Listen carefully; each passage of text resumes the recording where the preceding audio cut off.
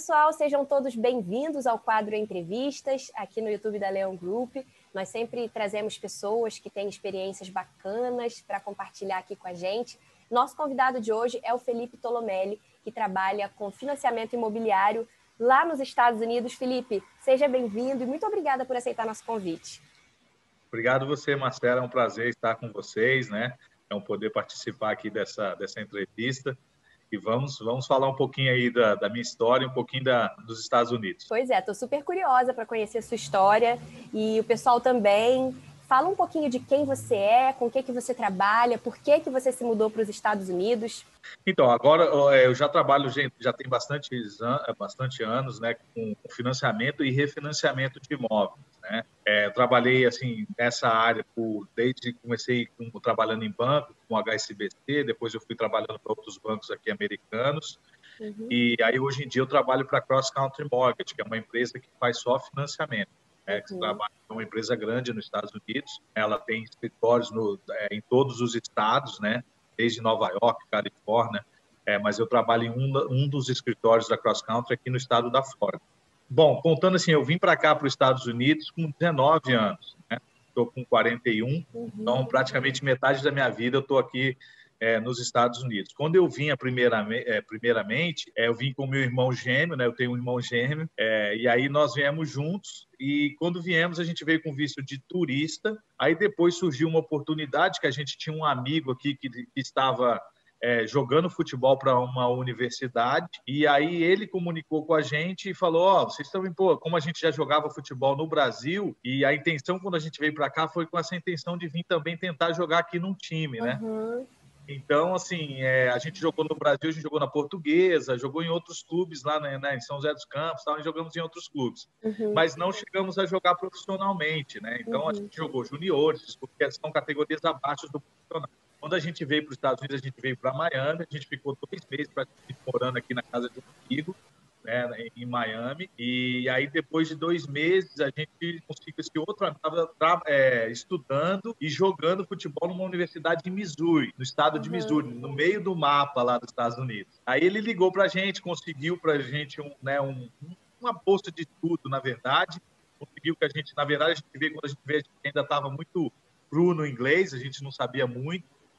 Então, esse amigo é, que nos levou lá para onde ele estava, lá em Missouri, ele ajudou a gente a conseguir uma escola é, para aprender inglês.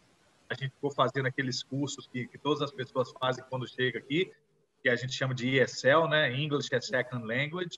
Então, assim, a gente começou a estudar, tal, ficamos estudando em torno de seis meses, quase um ano, para poder aprimorar o inglês. E depois a gente começou, é, ganhou uma bolsa de estudo num, num junior college, numa faculdade, e começamos a estudar e a jogar. E conseguimos essa bolsa de estudos através do futebol. Caramba, que legal! Naquela época não existia ainda Leão Esportes, que vai auxiliar pessoas Exato. como você, quando foi para aí né, com 19 anos. Exato. Vai, vai então, facilitar eu... tudo. E esse negócio do Leão Esportes é uma coisa, um programa muito bacana, né? Que o Léo uhum. tem feito junto com o Ricardo Rocha, com todos, uhum. né? Que é uhum.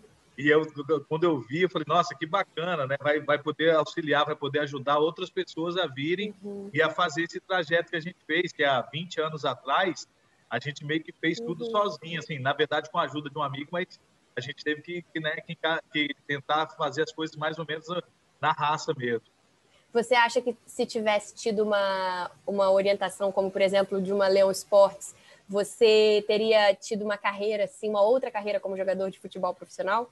Poderia então, talvez sim, eu até acho, porque isso aí é uma coisa até legal, né? Porque essa estrutura que eles passam para as pessoas que estão tentando vir, né? Esse auxílio é muito importante, porque quando a gente vê, e aí depois que a gente foi estudando, né? E aí eu me formei, né? Eu, meu irmão, nos formamos aqui uhum. é, depois de quatro anos jogando pela faculdade, mas foi uma experiência incrível, né? Estudando, uhum. é, a, a faculdade nos dava todo o auxílio, é, nos dava moradia, nos dava até dinheiro para a gente poder é, voltar para o Brasil, é, né, passar as férias, eles, eles davam, né, uma ajuda de custo que a gente uhum. chama. Né, no Brasil eles chamam de ajuda de custo. Mas eles nos auxiliavam muito. Uhum. Então, esse, esse suporte é bem legal, né? De você poder ajudar as pessoas a virem a poder é, ter esse auxílio, né? Muito importante. Achei muito legal, muito bacana esse programa e eu fico uhum. torcendo para que dê certo, né? Para que eles precisarem, né? De uma ajuda também, estarei aí. Com certeza, você tem aí uma bagagem, uma trajetória que pode, nossa, ser muito valiosa, pode ajudar bastante aí a turma que está indo para os Estados Unidos com o intuito de seguir essa carreira de, de atleta. E aí, como é que, que entrou, como é que a sua, sua vida entrou aí? Você foi para o lado do, das finanças, trabalhar com banco, então, financiamento isso é legal, porque todas as pessoas me perguntam isso aí, é uma, uma pergunta legal. Quando, assim, na verdade, quando eu estava fazendo a faculdade, tanto eu quanto meu irmão, nós estávamos pensando, logo depois que se formar, a gente estava pensando em continuar jogando e jogar profissionalmente, talvez aqui nos Estados Unidos, né, ou, ou em outros lugares. A gente, logo depois que se formou, a gente ainda fez uns testes né, de, de, né, em times profissionais. A gente chegou a fazer teste num time de Orlando, né, que tinha, no, uhum. no, time profissional que tinha de Orlando. Se eu não me engano, naquela época o time de Orlando ainda era segunda divisão, alguma coisa assim. Aí o que aconteceu? Só que não deu certo. A gente acabou, eu acho que naquela época também aqueles os times aqui né faziam muito assim essas essas peneiras esses testes para arrecadar dinheiro né uhum. então eu achei que assim, quando a gente fez o teste, eles não, realmente não estavam olhando ah. e buscando é, recrutar jogadores, Entendi. entendeu? Então, quando a gente fez, aí logo depois que a gente fez esse teste, aí falei, ah, aqui nos Estados Unidos, acho que não vai ser muito, a gente não vai conseguir encaminhar muito, a gente teria que ter uma ajuda, né, de alguma pessoa, de algum é, empresário que tenha conhecimento aqui e tal, e a gente não tinha isso. Então, a gente acabou conhecendo um empresário nigeriano, né, naquela época, e esse empresário nigeriano, ele gostou da gente e falou, ó, é, vocês topam ir para Malásia? Aí a gente foi para Malásia, aí é, a gente ficou dois meses lá treinando com o time profissional lá na Malásia. E aí a gente, né, ele, ele, pagou nossa passagem, tudo lá, hotel, tudo, a gente ficou lá treinando. Só que aí acabou que depois também, na hora de assinar o contrato, não era o que ele realmente tinha acordado com a gente. Né? A gente eu até fiquei um pouco chateado tal. Aí naquela época eu estava com 25 anos, né? É, eu estava meio que na, tava uh, estourando pô, com, com super preparo, estava né, é, uhum. super bem, mas acabou que aquilo ali meio que, meio que desanimou um pouco. E aí o clima lá na Malásia também não estava assim muito bom, né? O futebol até o time era legal, tudo, mas a, a estrutura em si não estava muito legal. Aí eu, aí eu falei, ah, para viver daquela maneira, a comida não estava boa, assim, a gente não estava acostumando. Aí a gente resolveu voltar quando a gente voltou para os Estados Unidos, aí meio que a gente, aí eu consegui um emprego no HSBC, no banco, e aí, e, né, aí a gente acabou, assim, aí eu acabei meio que largando o futebol, já tava uhum. tipo, ah, eu falei, já estou ficando velho tal, e aí vou, falei, vou seguir o trabalho. Aí comecei, aí no HSBC trabalhei em várias posições, né, né, como caixa, trabalhei como gerente de conta, depois gerente de conta jurídica, depois aí fui subindo, subindo, até que eu cheguei na parte de financiamento de imóveis, gostei muito, dessa parte e estou até hoje trabalhando com isso. Caramba, que legal! Então foi dessa forma que você acabou entrando para esse mercado. Não é uma Sim, coisa é. também que você tinha planejado quando você saiu daqui do Brasil. Você ia ser Exatamente, atleta não e acabou... nada que eu tinha, é, não tinha lá planejado nada disso. Então a, uhum. vida né, vai, vai, vai, você vai, vai, vai entrando e vai fazendo algumas coisas que depois vai te levando para uns lados que às vezes você nem imagina. Uhum. Mas essa parte assim da, da né, de você vir estruturado, tudo é muito importante, é uhum. é muito legal. Uhum. Porque graças a Deus a gente quando veio, a gente né, teve esse suporte de amigos, né? Quando eu vim, até vim com um primo meu que nos ajudou bastante. A gente ele, né? Do meu tio, tá? Em Miami. Mas aí depois a gente saiu e foi para tentar jogar, fazer uhum. tudo sozinho. E onde é que você está morando hoje? Então, hoje eu moro em Deerfield Beach, né, na, no estado da Flórida que fica uhum. perto de Boca Raton, fica, na verdade, a três horas de Orlando e uhum. uma hora de Miami. Né? Então, tá. Então, uma hora norte da, da, é, da, cidade de Miami e a gente fica três horas sul né, de Orlando. E como é que é a vida aí? Ah, a vida é tranquila. Eu, assim, a gente, né, graças a Deus, tem uma aqui os Estados Unidos proporcionam um, é, né, uma vida tranquila. Então, você não só tem... Eu moro perto do meu trabalho, então eu, assim, né, eu, eu vou ao escritório todos os dias, trabalho, volto, né? Trabalho meu horário normal. Uhum. A, gente tem tempo também, pra, é, tempo de lazer, né? Para estar com a família, para para estar com amigos, né? Geralmente depois do trabalho a gente joga um futebol né? A gente tem uma, uma, uma turma de amigos que a gente reúne, não só no, no final da tarde, né? Às vezes à noite, nos uhum. parques aqui. Então, assim, é que tem luz, né? Tem, aí a gente vai para o parque, joga, joga futebol à noite. Às vezes tem casa de amigos, tem também é, é, quadras de futebol, a gente vai para casa dos amigos jogar, final de semana. Então, a gente está sempre reunindo a, a turma aqui, então é bem bacana. Tem muito brasileiro aí? Nossa, demais. É? Demais, é. Tem muito brasileiro aqui nessa área que a gente está, em Miami, tem muitos amigos aí. Aqui tá sempre, a galera está sempre reunindo, está sempre. É, brasileiros fazendo tudo quanto é tipo de trabalho, né? Então, tem brasileiros, tem brasileiros né, que estão em um ramo de trabalho, outro que está em outro. Então, se você encontra em tudo, em tudo quanto é lugar que você vai, geralmente você encontra brasileiro aqui na Flórida. Por que, que os brasileiros gostam tanto da Flórida?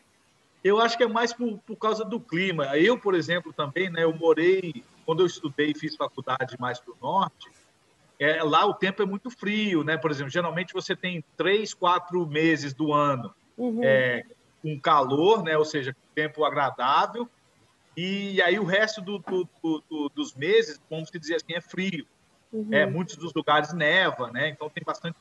Então, por exemplo, eu, a gente não gostava muito dessa parte né, de, de frio. Eu nunca fui chegar no frio. Então, assim, a gente, quando mudou, a gente vinha passar férias na Flórida, quando a gente morava no norte, aí a gente sempre gostou do, do clima da Flórida, das praias, né? Então, a gente meio que. Eu acho que os brasileiros acabam gostando mais aqui da Flórida pelo clima, né? Porque uhum. aqui na Flórida é difícil fazer frio. Uhum. Praticamente o ano inteiro, você tem praticamente 12 meses aí de, de, de clima agradável. Uhum. Legal, cara. É, eu nunca morei nos Estados Unidos, quem sabe um dia, né? Eu, eu não Sim. tenho essa experiência, é, não sei se definitiva ou por um tempo, tenho vontade. Mas me conta como é que é a questão do financiamento imobiliário para brasileiros. É burocrático igual aqui no Brasil? É complicado, que aqui é muito burocrático, é super. Enfim, como é que é a situação aí? Então, na verdade, por exemplo, de burocrático não tem nada. Até o processo aqui é bem mais simples do que, né, eu converso com muitos brasileiros, eu tenho muitos clientes brasileiros, uhum. então, assim, eles falam, nossa, no Brasil é bem mais complicado. Aqui, assim, principalmente, quando a pessoa está no Brasil, é que tem vários tipos de financiamento, tem vários processos. Uhum. Então, por exemplo, vamos lá, a pessoa está no Brasil, quer comprar imóvel aqui, ela tem como, mas aí ela tem que provar primeiro da onde que é a renda, né? Da onde uhum. que vem a uhum. renda dela. Então, se ela trabalha e mora no Brasil, aí, obviamente ela vai ter que mostrar a renda dela dentro do Brasil. Aí, claro, fazer essa conversão, às vezes, sei lá, ela ganha 20 mil reais. Aí tem que fazer a conversão para ver quanto que fica esse valor em dólar, para ver se ela teria condições, né, de qualificar essa pessoa para poder fazer o pagamento de, um, de uma parcela aqui de um financiamento aqui. Uhum. Então, tudo isso, mas o processo é simples, a documentação é simples. Então, assim, geralmente quando as pessoas entram em contato, né, eu falo muito com as pessoas pelo WhatsApp, uso WhatsApp para poder é, conversar com as pessoas. E aí eu explico tudo direitinho. Falo, ó, você vai precisar disso, disso, disso. Claro que cada pessoa é um caso, né? Então, por exemplo, às vezes a pessoa trabalha num ramo de trabalho, às vezes a pessoa é dona do próprio da própria empresa, ou às vezes a pessoa é autônoma, por exemplo, é um advogado, é um médico. Então, cada pessoa tem praticamente um, um, um tipo de documentação que a gente uhum. vai pedir, entendeu? Que bacana. E me diz uma coisa, é, por que, que você recomendaria que uma pessoa assim que está aí na dúvida se vai para os Estados Unidos ou não, por que, que você recomendaria essa experiência, trocar o Brasil pelos Estados Unidos por um tempo ou definitivamente? Ah, eu acho que tudo é válido assim de, de você é, experimentar, né, ter essa experiência de, de morar num outro país ou de viver uma outra cultura, né? Então assim, para as pessoas que às vezes pensam em vir, ou mesmo para passear ou para morar, uhum. né, eu sempre falo, ó, vem, fica um tempo, é, né, tem essa experiência para você ver né, se você vai gostar, porque às vezes a pessoa né, nunca veio, sabe, não sabe uhum. exatamente se ela vai gostar ou não. Às vezes as pessoas também que já moram aqui há alguns anos não estão querendo voltar para o Brasil, então varia de pessoas para pessoas. Eu, por exemplo, amo, né, não, não, não hoje em dia, por exemplo, não voltaria, até mesmo porque não, não, é, não cabe né, na, na, situação que eu, por exemplo, eu, eu jamais trabalharia nesse ramo aí no Brasil. Então, é uma coisa que eu, que eu, que eu estou bem, é, né? Então, uhum. depende de como a pessoa está. Eu já tive vários amigos que falam, nossa, estou doido para voltar para o Brasil. Até que uhum. hoje em dia também a gente vê que o Brasil está numa situação difícil, né? Uhum. Então, assim, muitas pessoas... Hoje é mais difícil a pessoa falar que quer voltar, né? E você hoje você vê mais pessoas, mais amigos querendo vir para cá, né, tentando uma vida melhor. Né? Uhum. E aqui, aqui geralmente a pessoa consegue ter uma vida melhor, né, ter uma vida tranquila. Uhum. Nossa, eu sou apaixonada com os Estados Unidos, eu adoro ir aí. se eu, eu acho que se eu fosse morar, eu não voltava para o Brasil, não. Eu já fui para Califórnia, fui para Nova York e para o Colorado para fazer snowboard. Ah, ah não, eu fui também na Flórida, fui nas Ilhas Ski. Nossa, que lugar maravilhoso, gente. Quero muito voltar aí, cara. Aí é um paraíso. Bom, eu, assim, sou suspeita, gosto muito, né? Mas não sei se se eu me mudasse, eu voltaria para o Brasil, não. É um lugar realmente excepcional, mas o que a gente sempre fala aqui, né, na Leão Group é que não vá de qualquer jeito, né? Gostei da sua dica, vai ver se você gosta, né? Conheça o país primeiro, né? Não vai assim na dúvida, no achismo, tenha certeza. E o mais importante, vá da forma correta, né? Informe-se, certifique-se quais os tipos de visto que, que é, podem se encaixar no seu caso, né? Se é que tem mais de um. E não vai no achismo, não vai para. Tem pessoas, né? Eu entrevistei recentemente um casal que falou que tinha é, conhecidos que eram especialistas aqui no Brasil e que foram trabalhar com uma outra coisa, assim, tipo, que, sabe, não deu uma renda tão bacana, que ele não prosperou muito, uma coisa que não era muito legal, por falta de informação, muitas vezes, né? Foi no achismo e o que a Leon Group propõe é justamente que a pessoa se informe antes, busque é, o conversar né, com, com a gente para ver qual é a melhor forma de ir. E aí ter uma história de sucesso, uma história bacana como a sua, né? Muito obrigada por compartilhar aqui com a gente sua experiência. E tudo de bom para você, muito sucesso aí na sua jornada. E, enfim, Obrigado, se eu me mudar para os Estados Unidos e precisar de um financiamento imobiliário, já tenho o seu contato, vou te procurar. Sim, vai, Vai ser um prazer, vai ser um prazer. Eu que agradeço aí, né? Sempre vocês aí são pessoas maravilhosas. É um prazer ajudar todo mundo, ajudar a comunidade brasileira, mas como você falou, é sempre importante. Hoje em dia as pessoas têm que né, procurar saber mais, se informar, estar com profissionais é, né, de qualquer ramo que vai precisar, tanto da área de advocacia, né, quanto da área, por exemplo, imobiliária. Tudo que a pessoa vai fazer, ela tem que procurar se informar um pouquinho mais. Isso aí. Muito obrigada. Bom, gente, vou encerrar por aqui essa entrevista maravilhosa. É, vocês viram aí que a vida nos Estados Unidos é muito bacana, tem muita oportunidade bacana lá. Então, se você está pensando em ir, entre em contato com a gente, fale com nossos consultores, os nossos contatos estão aqui na descrição do vídeo. E fiquem de olho nas nossas redes sociais também, porque a gente está sempre trazendo conteúdo, informações relevantes e entrevistas com convidados que podem tirar nossas dúvidas, que podem contar um pouquinho de como é a vida lá nos Estados Unidos, tá bom? Um beijo em todo mundo e até a próxima entrevista.